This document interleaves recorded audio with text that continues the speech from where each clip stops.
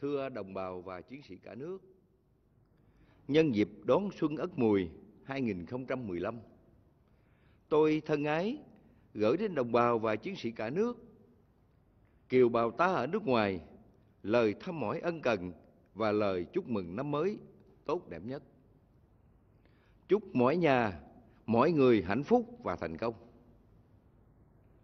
Năm 2014, đồng bào và chiến sĩ cả nước đã đoàn kết một lòng, vượt qua nhiều khó khăn thách thức, giữ vững môi trường hòa bình, ổn định chính trị xã hội, phát triển kinh tế văn hóa, đẩy mạnh hoạt động đối ngoại và hội nhập quốc tế.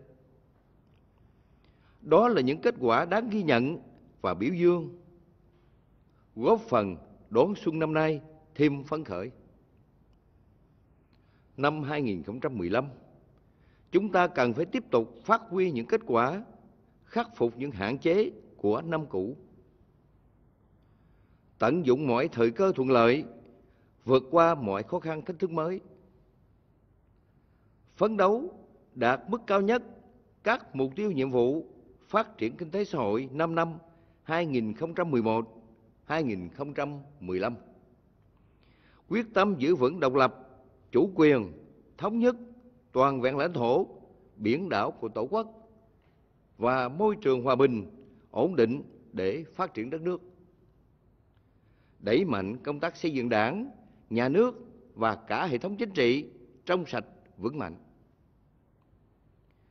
Đấu tranh mạnh mẽ, ngăn chặn đẩy lùi tham nhũng lãng phí, quan liêu và sự suy thoái về tư tưởng, đạo đức lối sống trong một bộ phận cán bộ, đảng viên, công chức, viên chức góp phần vào sự thành công của Đại hội Đảng bộ các cấp, tiến tới Đại hội đại biểu toàn quốc lần thứ 12 của Đảng.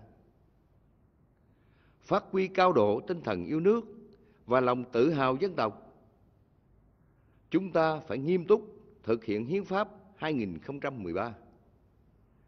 Thực hành dân chủ rộng rãi, tăng cường kỷ luật kỷ cương, công khai, minh bạch. Đẩy mạnh đồng bộ và toàn diện công cuộc đổi mới, xây dựng nhân cách, trí tuệ, năng lực và trách nhiệm công dân. Đưa đất nước phát triển mạnh mẽ và bền vững. Phấn đấu sớm trở thành một nước công nghiệp theo hướng hiện đại.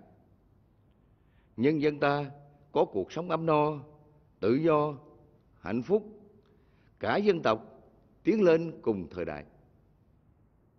Tôi xin chúc một năm mới đoàn kết, đổi mới và nhiều điều tốt đẹp đến với đất nước Việt Nam thân yêu của chúng ta. Đến với mỗi đồng bào và chiến sĩ cả nước và kiều bào ta ở nước ngoài. Chào thân ái.